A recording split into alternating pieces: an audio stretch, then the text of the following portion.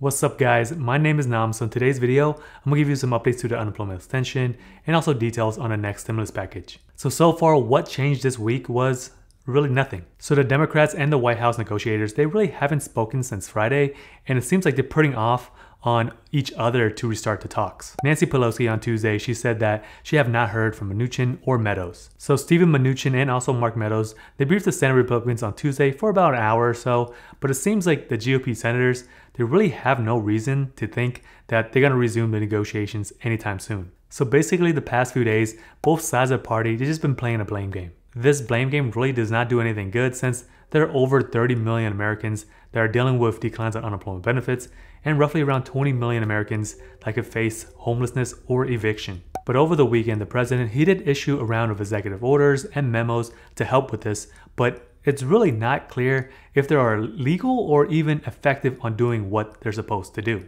So many governors and state officials, they have said their frustrations about the memo requiring that states would have to pay a portion of the unemployment benefits. On Monday, California Governor Gavin Newsom, he said that California would have to make massive budget cuts if the states want to implement President Trump's unemployment plan. He also said that it would create a burden for states as large as California that they could never absorb without again massive cuts to important services. So I'm not really sure if you guys been following my videos. I didn't make a video about unemployment last week, how there was some individuals in the Council of California trying to develop their own $600 a week uh, unemployment benefit. And the rationale behind this is, was that they were just going to borrow more money inside of a federal trust fund and they would just pay it over the course of maybe 100 years. But for that article that was published in the LA Times, Gavin Newsom, which is the governor, he really didn't say anything about it. He just said that he would have to review it. So back to what's happening right now. So in the White House memo, Trump, he suggested that states would use the remaining funding from the CARES Act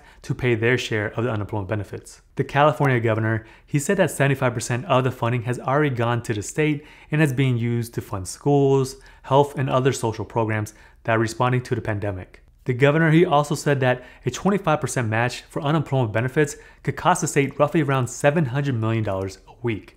He also said that there's no money sitting in a piggy bank somewhere from the previous CARES Act that can be reconstituted for this particular purpose. The California governor is one of the several governors that have showed disappointments about the administration's move to shift stimulus costs to states. So on Monday, New York Governor Andrew Cuomo, he compared Trump's proposal to handling a drowning man in anger. Probably one of the major issues with the president's memos and executive orders are the legalities. So the president and the Democrats, they are predicting that there will be some lawsuits over the weekend's executive orders and memos just due to the fact that he is sidestepping Congress on issues like payroll taxes and unemployment benefits. But many predict that many of the Democrats in Congress are unlikely to actually lead this lawsuit because it will most likely be state officials or private parties that will take these legal challenges and it could take months or even years to actually resolve. Because the truth of the reality is, Democrats, they are worried about how they would look if they're trying to block a much needed aid, such as unemployment benefits or payroll taxes for individuals trying to earn more money, because there are plenty of unemployed workers and households struggling to pay their bills during this recession. But on the other hand, there are many Democrats in Congress that are also very confident that two of Trump's controversial orders, which are deferring payroll taxes and also unemployment benefits, will most likely fail. So since the Democrats are thinking that these plans will fail,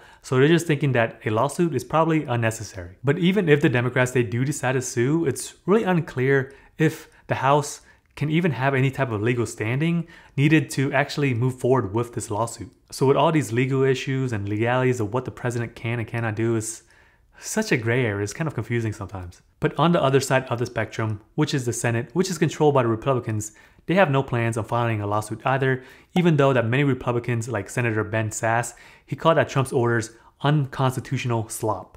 So on Monday, the Senate Minority Leader Charles Schumer, he was asked whether or not the Democrats were planning to do a lawsuit, and he says that we're not going to have to since the plans are unworkable. So from the look of things, it really does not look like the Democrats are trying to pursue a lawsuit, but they're just trying to wait for this plan to fail, and they're just going to point it in his face probably. So many individuals from the White House and the Trump administration, they said that what they're doing, like the executive orders and the memos, is solid legal ground because Treasury Secretary Stephen Mnuchin, he said that all of the memos and executive orders were cleared by the Office of Legal Counsel. And he also added, if the Democrats want to challenge us in court and hold up unemployment benefits to hardworking Americans that are out of a job because of COVID, they're gonna have a lot of explaining to do. Politics is a dirty game. Recently, also, Senator Chris Van Hollen, which is a Democrat from Maryland, he said that the Democrats, they're more concerned about providing additional aid to the people that are suffering than trying to come up with a legal strategy, trying to block Trump in court. He also added that there are some constitutional problems with this,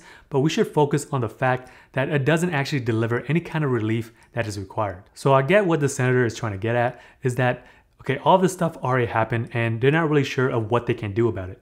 But from this point on, that they have to move forward, which meaning the Democrats, of devising a bigger and better plan to help the people. So as a reminder, here are the four orders that were signed over the weekend. So the president, he instructed at the Treasury Department to stop collecting payroll taxes until December 31st for workers who earn below $104,000 a year. So the president, he also called for laid off workers to receive $400 a week from a $44 billion fund that was designated for the Department of Homeland Security. He also called for Health and Human Services Secretary Alex Azar to study whether or not a eviction ban is actually needed. And lastly, he also ordered that interest on student loans held by the federal government to be waived all the way through December 31st. So many legal experts, they actually think that the courts can actually respond pretty quickly to this if they want, or they can move very slowly if they want. So it is said that judges are very often reluctant to intervene with such high profile constitutional battles between the White House and Congress so close to an election that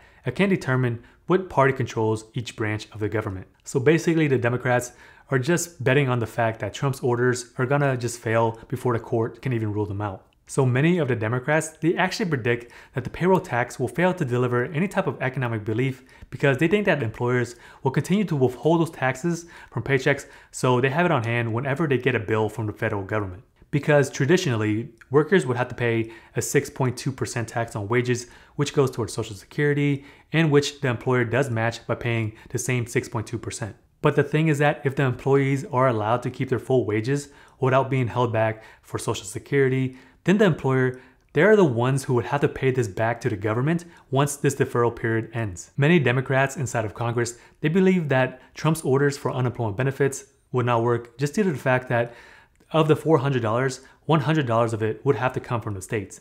They think that the new benefit system could take months just to get up and running. So Michelle Evermore, which is a senior policy analyst at the National Unemployment Law Project, she says that it looks like an unemployment insurance benefit. It smells like one, but it's absolutely not one. She continued to add, because this is not an unemployment insurance benefit. States systems, they can't pay for regular admin funding. So it will be a while before actually states have this set up and running. But on the other hand, Treasury Secretary Steve Mnuchin on Monday he said that most states should be able to execute the enhanced unemployment benefits in the next week or two. So if that is the case, you may expect an additional $400 on August 16th or August 23rd. But let's see what happens. But the president, he also told reporters on Sunday that the federal government, they would make a decision about state contributions on a state by state basis. He said that in some instances, maybe the states may have to pay nothing. Another thing that Stephen Mnuchin said was that 25% really isn't coming from the state because we already authorized them to use money out of the $150 billion that we just sent them. So in essence, 100% of the money is coming from the federal government. I kind of get what Stephen Mnuchin was trying to say, but that $150 billion was set aside for states for different reasons, but not to supply the state with unemployment benefits. Alright guys, so that pretty much does it for me. If you guys want two free stocks, one value up to $1,400, you guys can sign up for Webull using the link in the description below. And when you deposit $100, you can get another free stock value up to $250. And if you guys want to hang out with me some more, check out my videos over here.